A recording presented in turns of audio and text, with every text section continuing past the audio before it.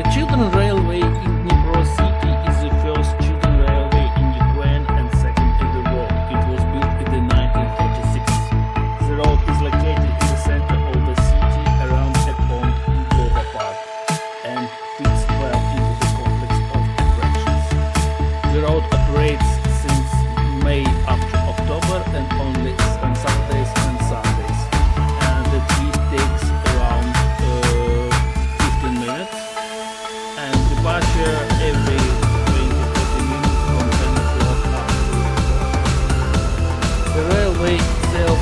is rather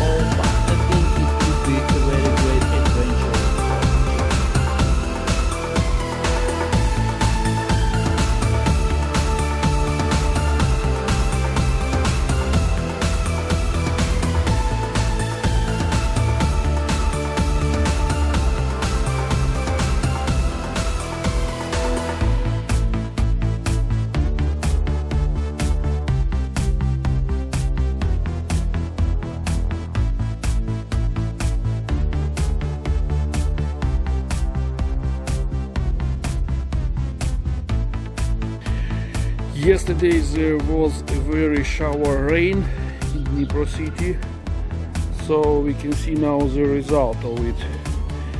The children's railway turned out to be underwater children's railway, it's, like railway submarine, because the rails go down underwater.